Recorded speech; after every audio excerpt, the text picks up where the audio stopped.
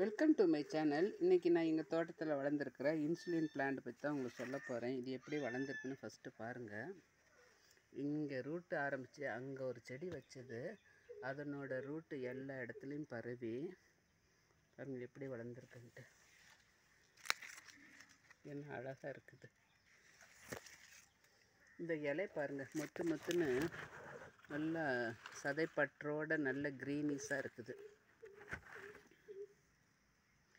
இந்த இலை வந்து எல்லா இடத்துலையும் வளரும். இதுக்கு வந்து இப்போ ரூட்டு பாருங்கள் இந்த மாதிரி இருக்குது. இந்த இந்த பாருங்கள் இங்கே பாருங்கள் ரூட் ஃபார்ம் ஆகிருக்கா இந்த ரூட்டோடு அப்படியே எடுத்து நம்ம வேறு இடத்துல வச்சோம்னா இந்த செடி வந்து டக்குன்னு வேர் பிடிச்சி வளர்ந்துடும் நம்ம இதை நல்லா பச்சையாகவே சாப்பிட்லாம். பச்சையாகவே சாப்பிடணும்னா நம்ம என்ன செய்யணும்னா நல்ல தொட்டியில் வச்சு நம்ம வீட்டுக்கு முன்னால் வச்சுக்கணும். அப்போ தான் நம்ம வந்து கேர் பண்ண முடியும். அதில் பூச்சி எதுவுமே அடிக்காமல் ஃப்ரெஷ்ஷாக இருக்கும். இலையில எந்த இதுவும் படாமல் இருக்கும். அந்த மாதிரி இலையை நம்ம பச்சையாகவே சாப்பிட்லாம். பச்சையாக சாப்பிடும்போது நமக்கு சுகர் வந்து கண்ட்ரோல் ஆகுது. சுகர் எப்படி கண்ட்ரோல் ஆகுதுன்னா சுகர் பேஷண்ட்டுக்கு வந்து இன்சுலின் பாடியில் சுரக்கிறது குறைவாக இருக்கும். அப்படி சுரக்க குறைவாக இருக்கிறதுனால சுகர் லெவலை வந்து கண்ட்ரோல் பண்ண முடியாது. அதனால தான் நம்ம அவங்களுக்கு சுகர் வந்து தாறுமாறாக எகிரிடுது.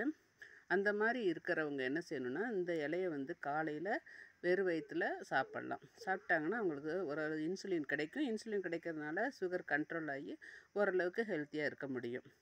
ஆனால் இந்த இன்சுலின் இன்ஜெக்ஷன் எடுத்துக்கிறவங்க வந்து இந்த இலையை வந்து அதிகமாக யூஸ் பண்ணும்போது டாக்டரோட அட்வைஸ் படி தான் பண்ணணும்.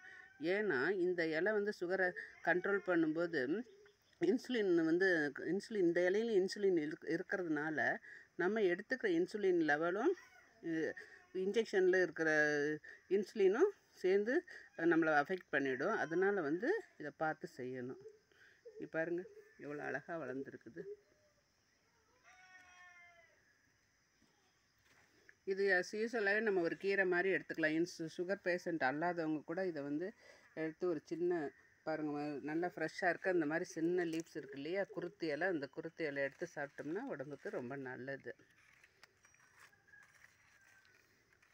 உங்களுக்கு இந்த சேனல் பிடிச்சிருந்துச்சுன்னா லைக் பண்ணுங்கள் ஷேர் பண்ணுங்கள் சப்ஸ்கிரைப் பண்ணுங்கள் தேங்க்யூ